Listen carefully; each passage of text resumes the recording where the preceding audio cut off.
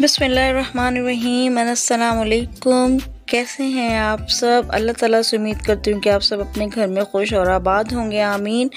जैसा कि आप देख रहे हैं कि आज बन रहा है बड़ा गर्मा गर्म हलवा। इस ठंड के मौसम में हलवा खाने का अपना ही मज़ा है। तो जनाब, सबसे पहले मैंने पतीले में डाला है एक कप घी। घी को मेल्ट कर लिया था और उसमें मैंने छोटी इलायची के दाने डाल दिए थे और उसमें एक कप बेसन डाल दिया था। आज बना रहे हैं बेसन का हलवा।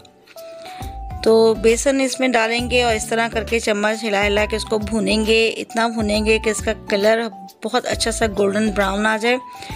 तो जनाब, अब हम, अब करते हैं हम अच्छी सी भुनाई बेसन की। और मिलते हैं जब ज़रा कलर इसका चेंज हो जाए।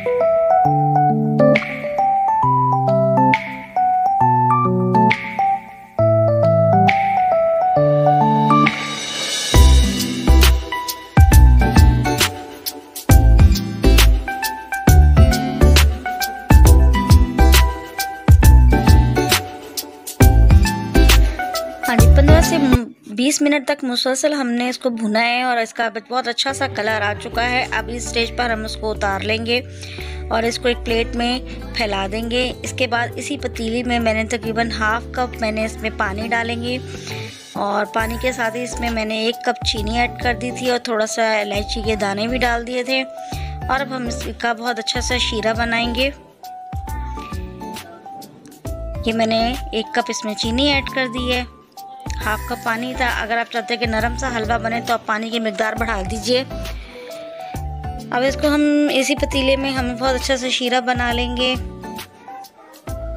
और तकरीबन इसको भी तकरीबन 10 मिनट तक पकाएँगे। 10 मिनट में हमारा शीरा रेडी हो जाएगा। देखिए, जब ज़रा थोड़ा सा गाढ़ा होना शुरू हो जाए और इस तरह के बबल्स बनने लग जाए तो इसका मतलब है हमारा शीरा रेडी हो चुका है। इसके बाद जो हमने वो बेसन भुना हुआ था, वो इसमें हम ऐड कर देंगे। और उसको बहुत अच्छे से मिक्स कर लेंगे और उसके बाद इसको एक अलग प्लेट में हम इसको ठंडा होने के लिए फैला देंगे और उसके ऊपर कोई भी ड्राई फ्रूट जो आपको अच्छे लगे वो इस पर डाल दीजिए। अब इसको हम ठंडा होने के लिए रख देंगे और इसके बाद इसको टुकड़ियों में काट लेंगे। ये हमारी बेसन की बर्फ़ी रेडी है, आप ज़रूर ट्राई करना यकीन आपको बहुत अच्छी लगेगी। अपना बहुत ख्याल रखिएगा। ओके टेक केयर अल्लाह हाफिज़